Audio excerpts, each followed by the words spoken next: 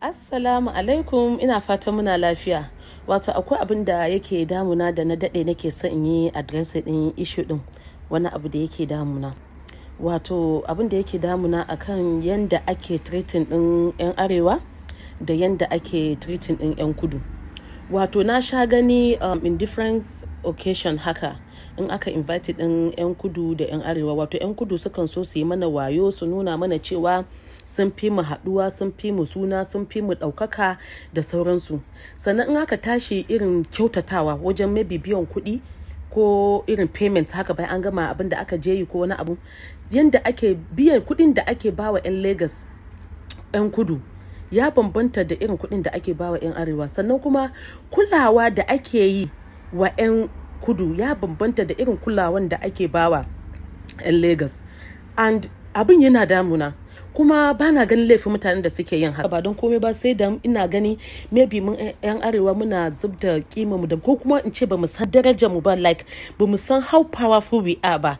Because if we are not powerful there is no way za a kira yan kudu sannan a kira mu a ce mu ma mu zo. So they know that we are powerful and they know that akwai abubuwan da mu za mu iya haiwatarwa wanda su yan kudu din ba za su iya ba. To alal misali yanzu in aka kira dan kudu aka ce za a bashi brand ambassador ko za a bashi influencing na wani company ko wani product dan Lagos zai iya cewa miliyan goma ko ya ce kakar da list da zai iya yi miliyan biyar. A miliyan biyar din ma ana roƙansa ana lallaba shi Allah da annabi tana ko yana jin yanga yana feeling sai an zo wajen mu sai a tambaye um, yar arewa fim ko irin any influencer haka na yar arewa sai a ce da Allah akwai na ambassador ko influencer da muke saka yi mana. The next thing da kuka da za su fara magana a kai kun sana ne?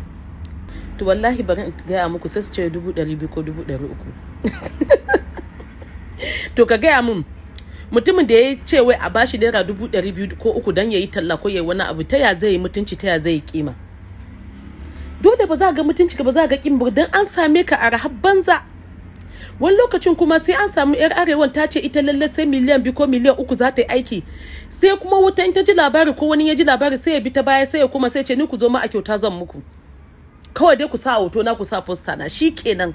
To mu yaushe za mu girma? Yaushe za mu zama level ɗaya da yan kudu wanda in suka ce miliyan biyar mu za mu iya buga ƙirji mu ce in ba miliyan goma ba za mu yi ba. Mu daina zub da mutuncin kanmu mu daina zub da kiman kanmu mu daina ganin like mu daina kaskantar da kanmu. Wallahi we are powerful. Ina son mu 'yan arewa mu sani we are very powerful. Mutanen nan ba su fi mu da komai ba. Mutanen nan ba abin da suka fi mu da shi. Kuma ina jan kunnewa manyan mu da suke inviting din mu. Please in za ku invite mu mu ma mutane ne. Mu ma muna da mun san kiman kanmu mun san darajar kanmu mun san mutuncin kanmu. Ko da wasu ba su sani ba. Muna ji muna ganin za a kira 'yan Lagos. Ko a ce za a yi wani babban mitin sai 'yan Legas su dinga feeling inferior kamar sun fi mu because ba mu iya turanci ba mu ba mu je makaranta. To 'yan Legas din mutum na ne suka je makaranta? 'yan Legas din mutum na ne suka iya turancin masu ma ba akan titi suka tsinta ba? To mu ma muna tsinta shi koda da kaɗan kaɗan ne muna tsinta akan titi. Don haka ba abin da wani zai nuna mana. Sai a dinga fifita su a dinga ce ai wa'ana 'yan Legas ne ai ai wa'ana 'yan Legas ne. To me suka fi mu? Ɗaukaka suka fi mu ne ko sanin mutane ko sanin darajar mutane suka fi mu? To ya kamata lokaci yayi da ya kamata mu ma 'yan arewa mu tashi tsaye mu daina wulaƙanta kanmu a daina wulaƙanta mu. Sai an zo waje ko inda ake ba su wajen zama ma sai a ce su a ba su wajen zama na wa'ance a kai su can yan gara ne ko kuma a ce da Allah wa'annan local people ɗin nan ne. Ko a wajen biki ne ana yin biki sai ka ga dan Lagos zai zo balle ma DJs ɗin nan DJs sun san junansu sun san kansu kamar me. Wato yan DJs ɗin nan daga dan Lagos ya zo sai yayi awa ɗaya akan stage yana yana gama. Dan arewa ana kiran shi minti biyu minti biyar minti ashirin sai a ce ya sauka. Time up time up five minutes just two minutes just three minutes haka suke ce mana. Just two minutes just three minutes. Amma in dan Lagos ya hau kan stage sai inda ƙarfin shi ya kara sai ya waƙa guda biyar yana kan stage. Amma dan arewa yana zai a ce just two minutes just three minutes because ba da kuɗi da yawa aka kawo shi ba. Kuma an san in shi din ya ce bai zai ba a wannan kuɗi wani zai iya zuwa mai ce kyauta zai yi shi. Don ba a ganin mutuncin ba a ganin darajar mu. I don't even care what people say people should abuse me su zage ni su faɗa da abin da za su ce.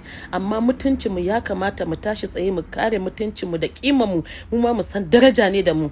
Kuma kan wanda ya ƙara gayyata mu waje ya ce a ce mu zo na anan ga 'yan Lagos na can za su zo su they are VIPs why we are, we are not VIPs then they know, they know that we are not expensive. With even 10,000 naira you can get an artist to do what you want that person to do for you. So not anymore. And in ina fatan well i'm talking about myself right now. Um, ban san to other people but because I've been abin yana ina jin haushi ina jin haushi yadda ake treating ɗinmu i'm not happy with it. Like abin yana bata min rai. And i think lokaci yayi da ya kamata mu ma yanzu mu san kima kanmu mu san darajar kanmu. Ina tunani yanzu lokaci yayi da za a kira ki yar arewa a ce ki zo ki yi abu ki kotin din amount kuma you should stand on your frame ki ce in ba wannan amount din ba ba za ki ba. To wannan abin yana ƙara wa mutum mutunci yana ƙara mutum daraja. Amma yanzu na zaki zo ki ce wai ke naira dubu ɗari biyar ɗan Lagos sana na ta anshi miliyan biyar. To me yasa za a ga mutuncin ki? And with the coming election ina fatan cewa mu 'yan arewa ba za mu dinga ansan cikin money muna yi wa 'yan siyasa campaign ba because kuɗin da 'yan Lagos suke ansa a lokacin campaign ɗin we all know about it. Sai a samu dan Lagos mutum ɗaya a bashi miliyan talatin. Amma dan dan arewa sai a haɗa mu mu hamsin ko mu talatin sai a ɗauki miliyan biyar ko miliyan goma sai a ba mu. Sai a ce ga miliyan biyar ko miliyan goma mu je mu raba. Wai 'yan Lagos mutum ɗaya kaɗai sai a bashi miliyan talatin. A ba wannan zancen. Let's talk about neman aiki ko neman business.